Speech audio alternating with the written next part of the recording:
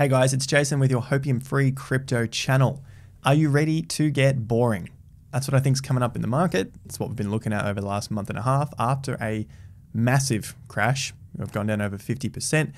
And so, unless we get a V shaped recovery, I suspect we're going to go quiet for the next one to three months. But if you're a regular viewer of the channel, you know that's what we have been anticipating, and which is why I've always talked about stay with the market, whether it's watching my channel or Twitter or anything else. Just make sure you have a regular daily ritual that keeps you with the market so you are going to be getting into the market when the, the lesser amount of people are getting in. So make sure you hit the like button down below. Give you a second to do that. Cool.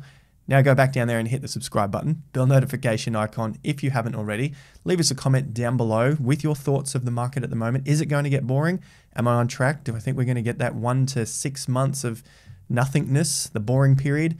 So make sure you're ready for that. All right, let's dive into what I have for you guys today. We're going to look at Bitcoin, Ethereum, Cardano, and uh, possibly a place to store some of that stable coins if we are waiting for another good entry.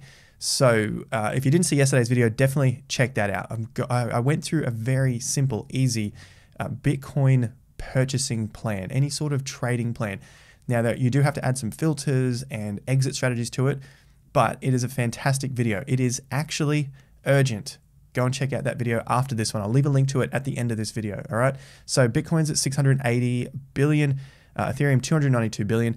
Remember, when we were a month and a half ago, or even sort of, yeah, about five, six weeks ago, Bitcoin was a one point something trillion.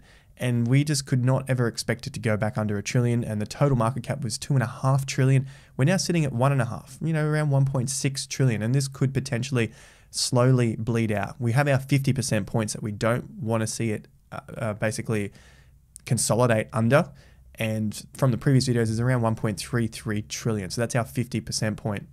Uh, we're going to look at Cardano, which is at 49 billion. If you haven't already, go and uh, stake your Cardano with the TIA staking pool. There, uh, all the details of that are in the description down below.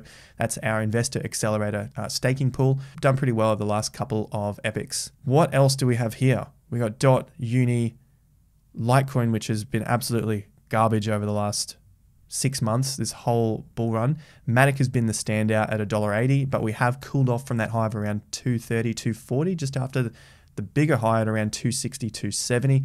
Solana is also cooling off back down to $29. Uh, Theta at 680 after it broke through $8. So my level was around 4 to $5 and it's hit that once. not sure if we'll get there again, but at least it's a lot cooler than it was at around 14 bucks.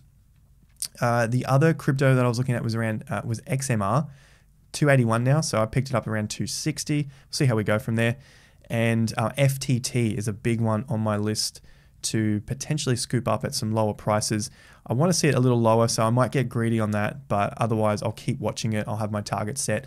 FTT is the FTX exchange, and that's at a $3 billion market cap, and it's it has the potential to take on Binance Binance actually invested in FTT. So they're not trying to compete and take one another out because essentially they've invested in them. So if FTT does well, FTX Exchange does well, then I assume Binance is also going to do well with their uh, with their investments.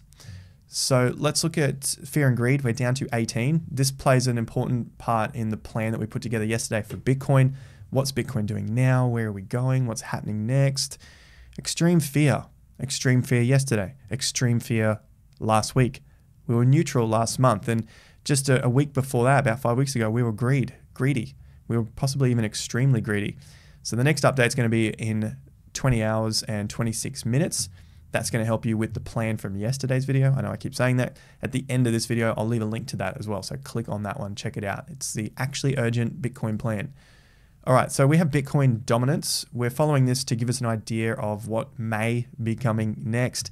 Now, I just checked this because uh, if we start to see this move up, which we have seen our first swing, we've seen a higher swing low now. That's a bullish sign for the dominance, which means money potentially is going back into Bitcoin and less into alts. Alts might bleed a little bit.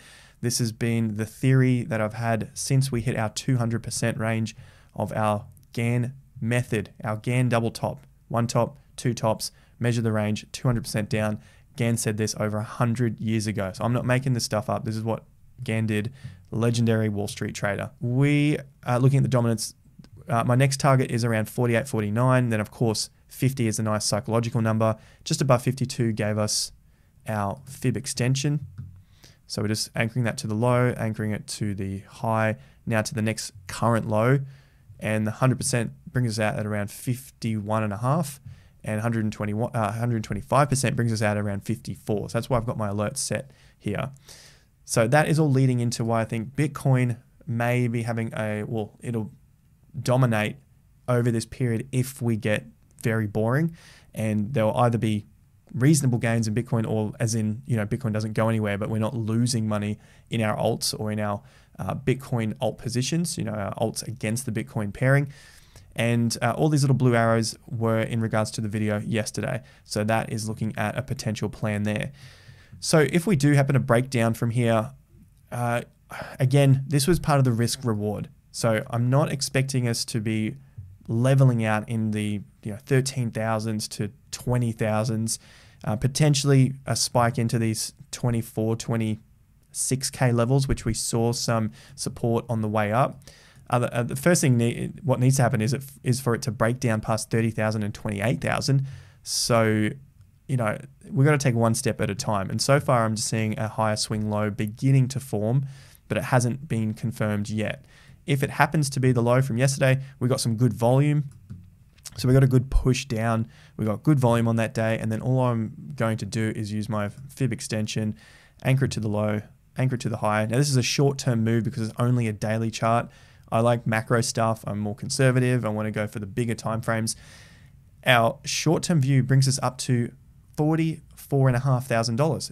And if you've been following for some time, you know our level is 45k. A close above 45k, then I am much more confident in Bitcoin holding that level and then it basically consolidating into a bullish position. While we're below this level, it doesn't mean it has to break down, but it's not as strong as being above the 50%. And the 50% is our top to our low, and there it is, 45k. So that's that's the target. I've got my alert waiting there. It can show bullish setups under this target, which is fine and just means that we'll have to wait a little bit longer to get the extra confirmation. But overall, I'm still comfortable with this. Uh, as per the plan, I'm waiting for the fear under 15. And I'm just going to test this out, give it another crack. I like Bitcoin in the 30s. The downside isn't anywhere near as big as when it is in the 50s or 60s for obvious reasons and which is why I was not talking about or you know suggesting that I'm I'm not buying Bitcoin in these levels.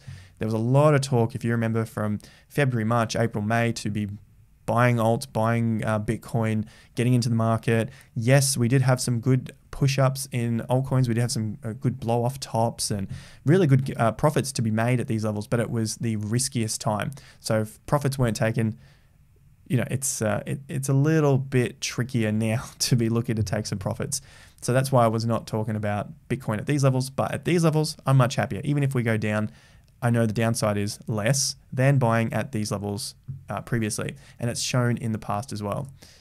Ethereum is looking okay again, similar sort of setup to Bitcoin. We've we've seen the higher low begin to form good volume on yesterday's down bar. That was like the big crash, the dump, everything's on. Maybe I'll put a title and uh, you know, put the title for this video something to do with the dump because that's what everyone seems to be freaking out about. Although it's just 12% down from yesterday's close, and we know that this is a volatile time as the market has fallen 57%. And so crypto does 10%, 15% in a day. It doesn't really mean much. Look at the the dump day; it was 27%. And that was the the scariest day with a nice big bounce back. And then on the 23rd, the close was within the uh, the market sentiment changing bar. Like it just dumped again, couldn't get much further.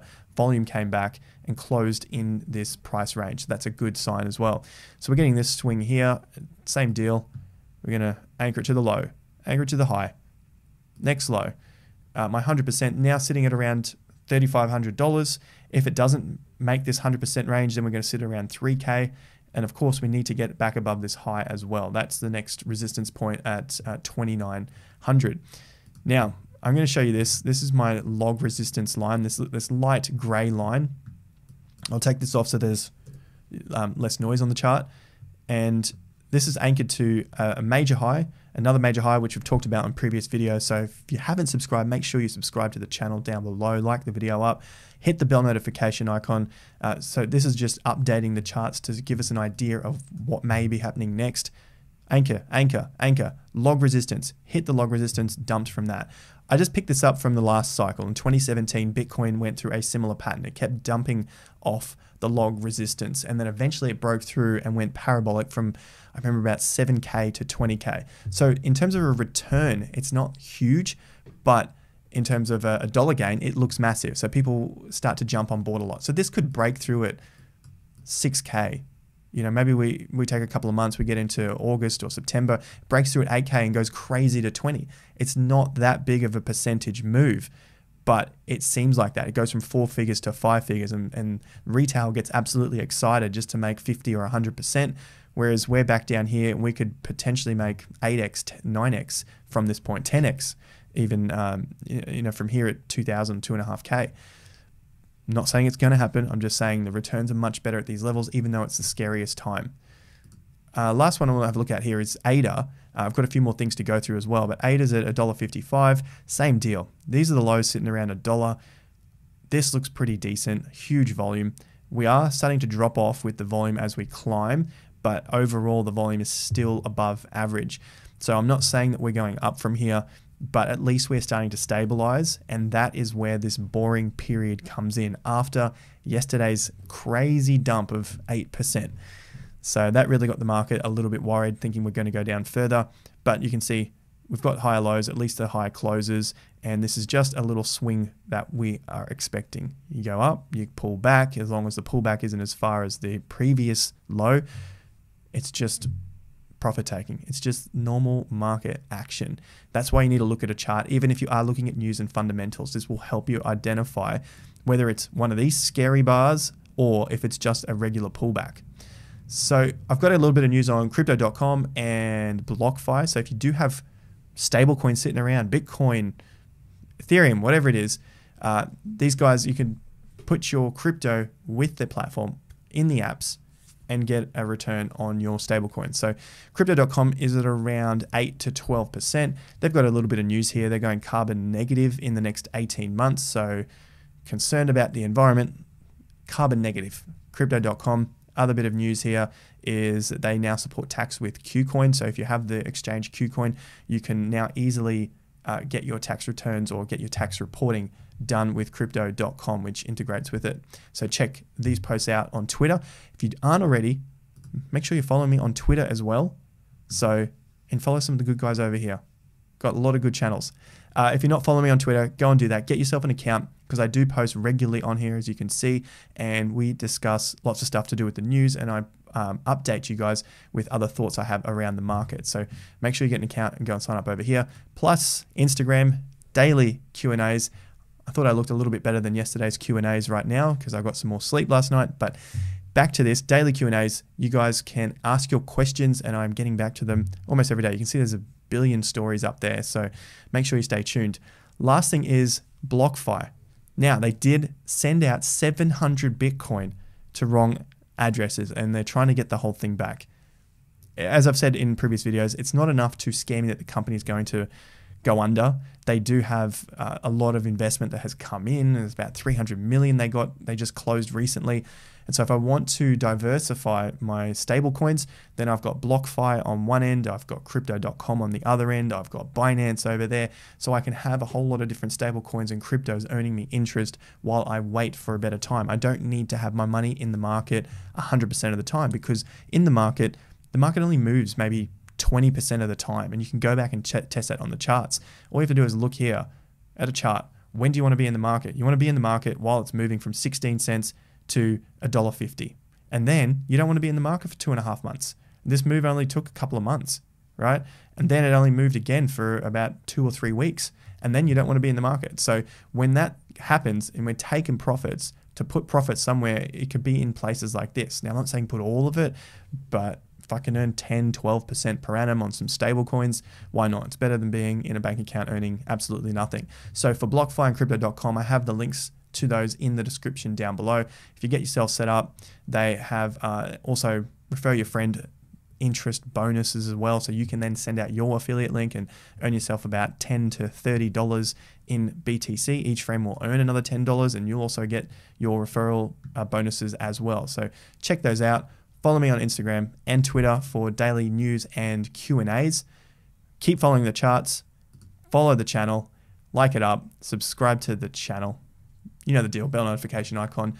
Thank you once again for the uh, watching and spending your time with me for the Bitcoin update, the actually urgent dump that we had to understand what was going on and uh, get your plan together. Now, go and watch the video at the end of this one. I've got the link there as well. So check that out. But until next time, have more fun to get more done.